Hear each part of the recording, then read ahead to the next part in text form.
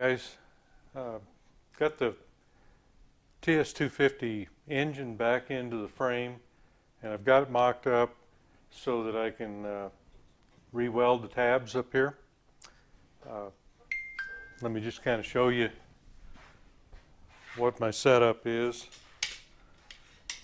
The uh, all the bolts are tight except for the top one where the bracket is. They're it's close to tight, but it's not completely. That seems to be the best place to get everything back where it was. And then I've got the uh, these straps that run around here, or brackets, whatever you want to call it, pulled up with vice grips on both sides. So I'm going to tack along the top and then tack along the back here, and then I'll remove it to uh, finish it up. But that's kind of where we're at right now. That engine's a lot easier to handle without the the uh, cylinder on it. So let me get fired up here and we'll see if we can tack this thing.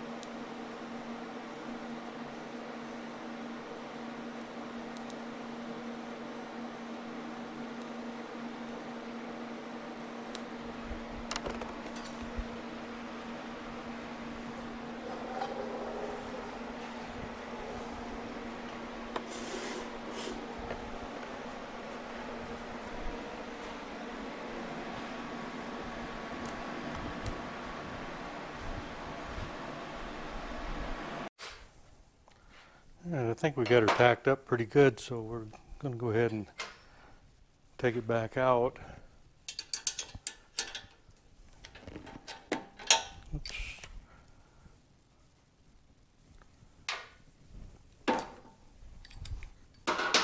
The right socket here would help.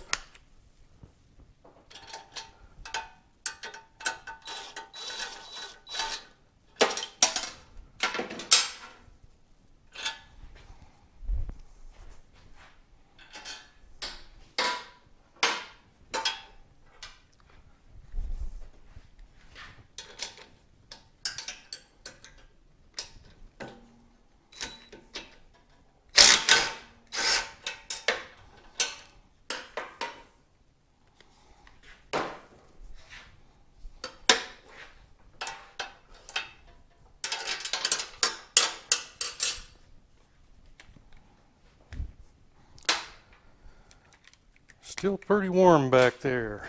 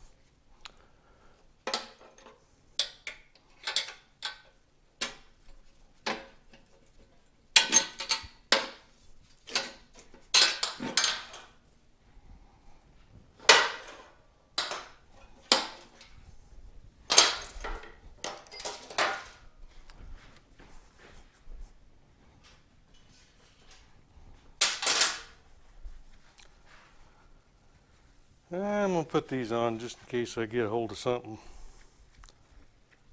warmer than I want to play with.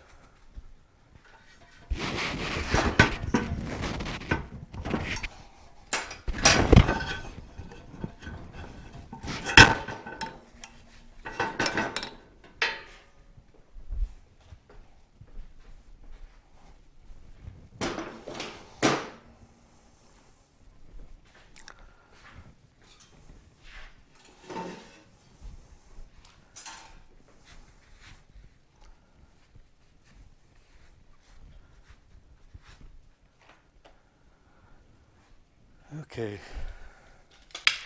Just give you a little view of what we've been doing.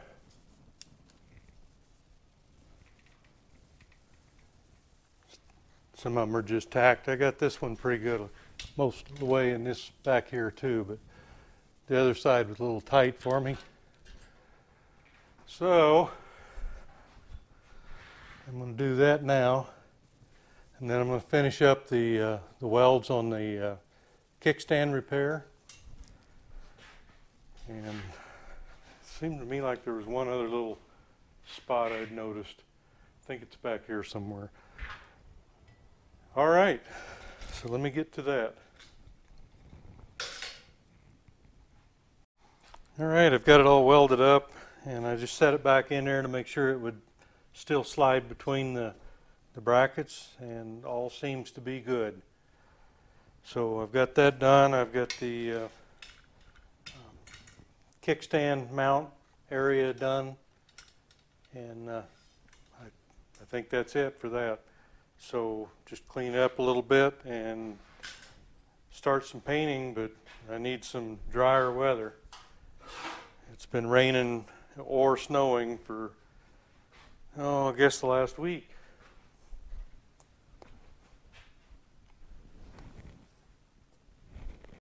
Uh, now we're going to get to the paint. Uh, let me show you what I've already done here. Uh, I've got the uh, got the swing arm and the uh, frame on both the Suzuki and the uh, Yamaha, and I've set up out here on the on the bench with all the parts for the Suzuki. This is what I'm going to do next. And I'm going to get back up here and go through my mixing. I just use a uh, an acrylic enamel paint that uh, I get from the auto parts or the actually a, a custom painting outfit and uh, it's a little more durable than rattle can stuff and this uh, this is just a uh, a gloss black uh, acrylic enamel one stage single stage paint. And it mixes out at uh, 8 to 1 to 1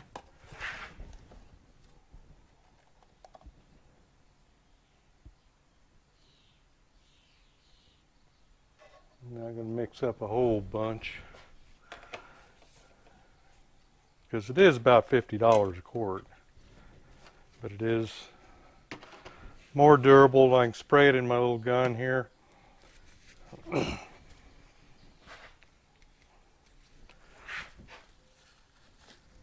So we've got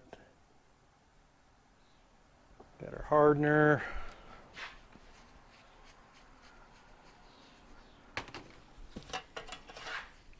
And just a touch of reducer.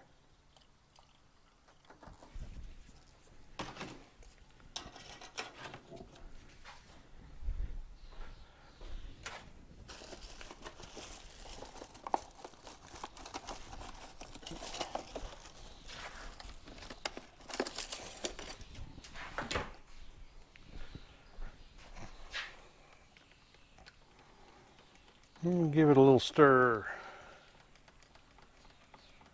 This should be more than enough to. It's got a pretty long pot life, so I can I can do one side all these parts, and then uh, just set it aside. Clean my gun, of course, but uh, set the paint aside, and in a couple hours come back and and finish my painting. It'll be dry pretty quick, uh, probably within 30 minutes at the most and you know just in minutes to touch.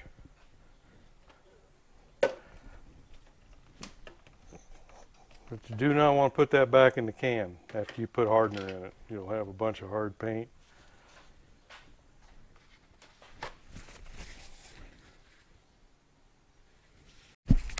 And don't forget your respirator when you're doing this stuff because all this paint is really nasty.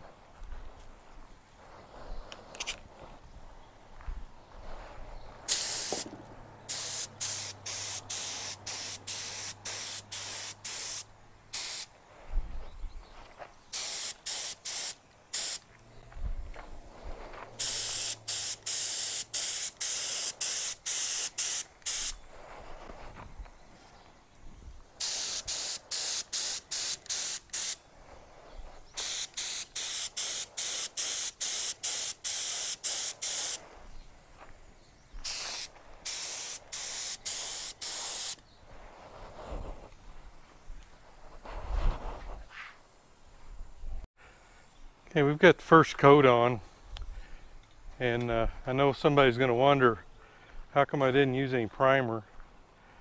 And uh,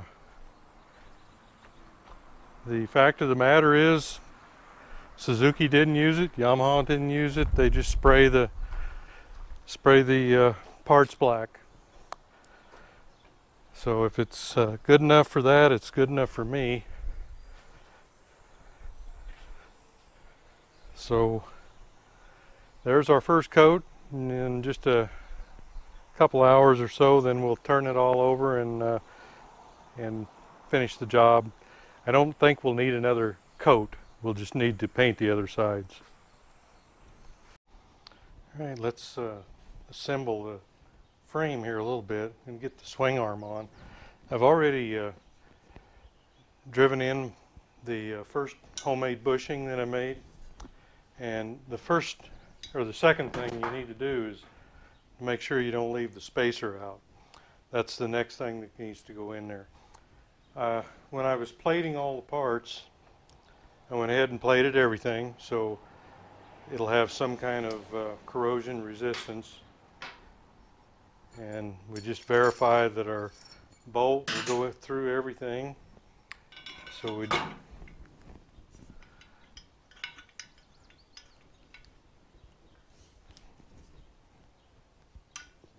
Hmm. You know what? I think I may have to trim off my, uh, trim this bushing off just a little bit. Let me do that real quick.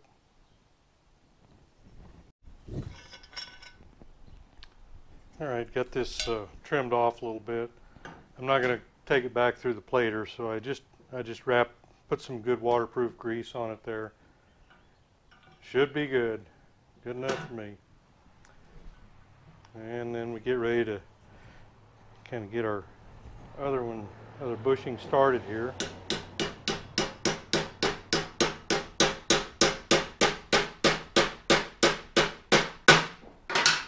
They are interference fit, but they go right in.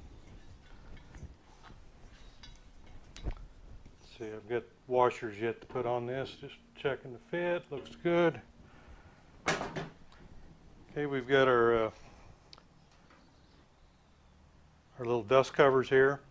I took those apart and uh, put new O-rings in and just cleaned them up good and greased them. And those fit over the edge of the bushing there. Oops, I guess we better put those bushings in. Let me uh, get that done first. Put some grease on.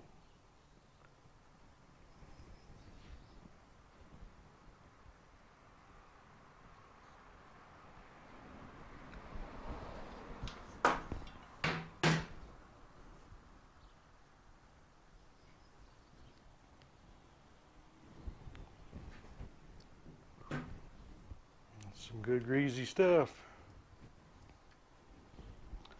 Put a little more on there to kind of hold those on.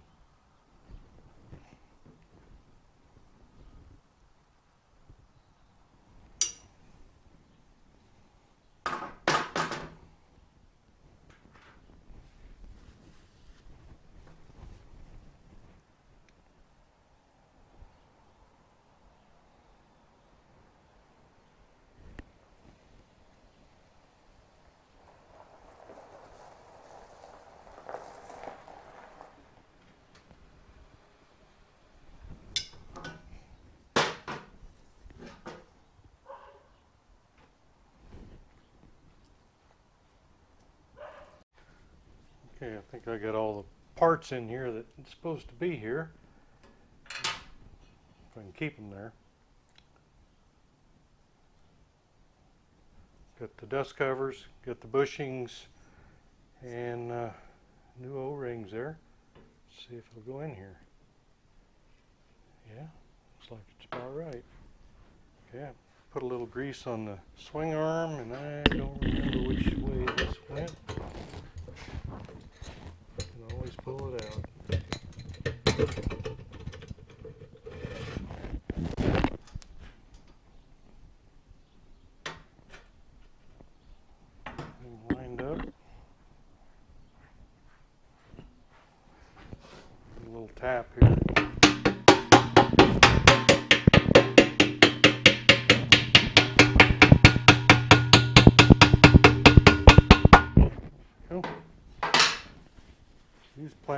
Hammer for just about everything.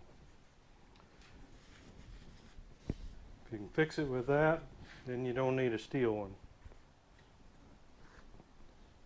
All right.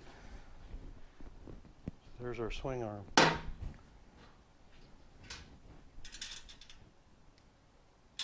we'll just loosely start the nut.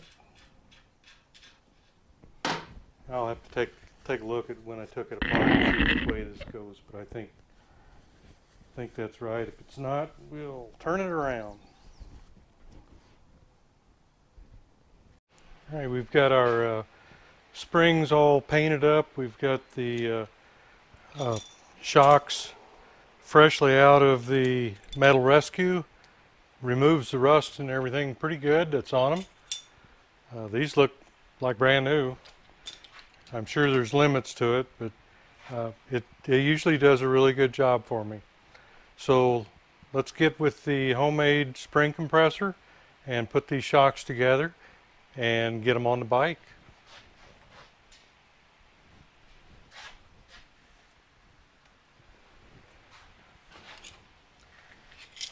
Okay, again, here's a here's a shot of them.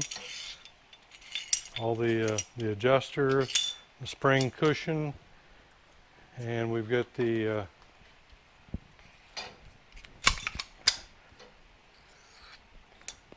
not sure what that guide may be. I don't know.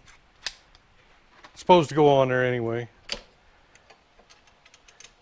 And we'll get that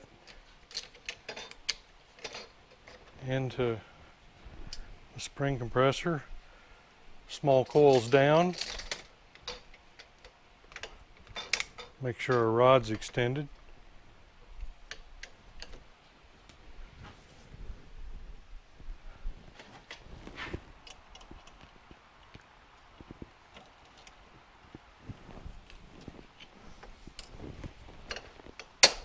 There we go. It be a finger getter if you let it let it do it to you.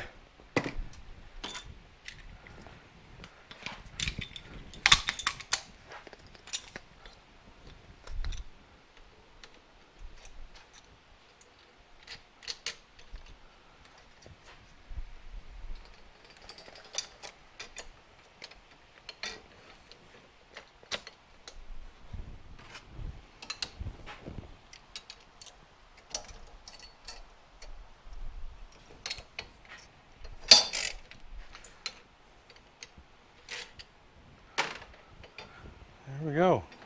Just works like it's supposed to.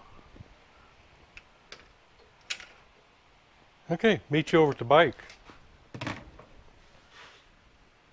Okay, I got quite a bit going on over here. I've got uh, I've got a rim in the uh, Metal Rescue. I'm probably not going to use that rim, but uh, clean it up and probably put it on eBay. The uh, I've got a brand new one for it, so that's what I'm going to use. Um, I prefer to do that, but that's a serviceable one. Okay, let's. Uh, we've got our washers on the back side here, and we just want to make sure that we've got this oriented so that we can adjust it. We don't want it on the inside otherwise.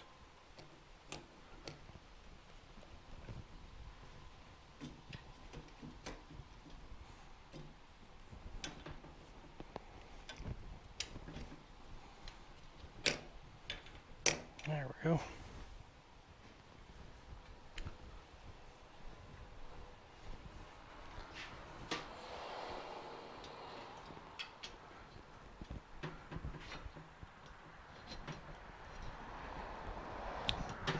Looks like I might have to compress this one a little bit.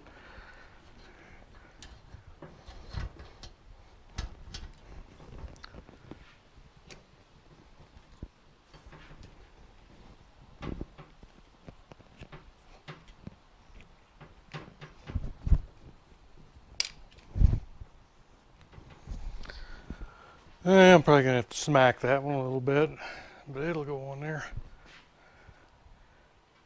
And we've got our washers and our acorn nuts.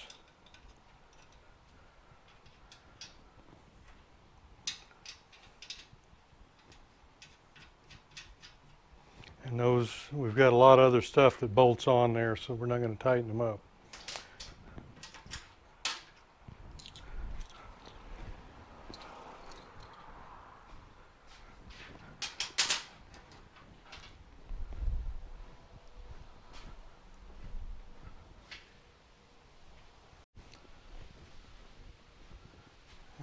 just tap it a little bit with our plastic hammer and our washers acorn nuts.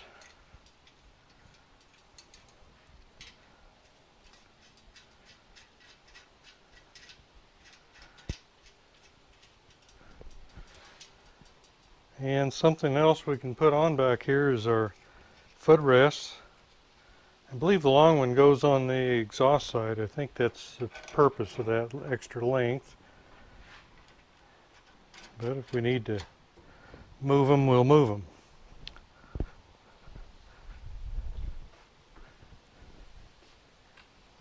And what I did, um, I replated all this stuff.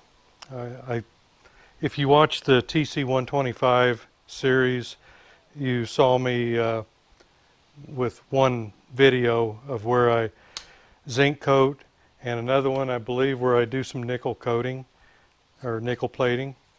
So it just makes it look nicer and if you got a little bit of rust you get rid of that and have a nice coating on it. So uh, if you'd like to know more about that, uh, slide over to that uh, that video and take a peek at it.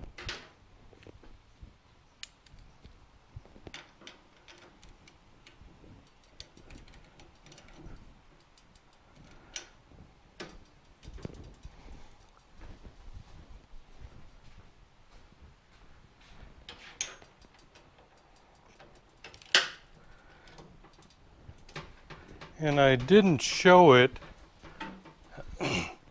but I did install the the bearings, and I've got the triple tree installed. Uh, everything's loose, but it's just it's there. So uh, I really was not anticipating doing a front wheel on this bike. I thought it was in better shape but I've got I bought a bunch of those wheels, different sizes, out of Taiwan, or actually wasn't Taiwan. Where was that? Um, overseas somewhere. And uh, I I try to keep enough of them on hand because they're kind of hard to come by. Uh, Thailand, that's where it came from. So I've got that, but I had to get a set of spokes. Suzuki still says they have them available. This is for the rear wheel. I was planning on doing the rear. So we'll see here in a week or so whether or not they show up. If they don't, uh, the nipples are really bad on the ones I took out, so I don't know whether I can do anything with them. So I'll probably have to end up uh, ordering a set from Buchanan. But I've got it all disassembled. Here's the here's the hub. Got the wheels, the tires all to the ready there.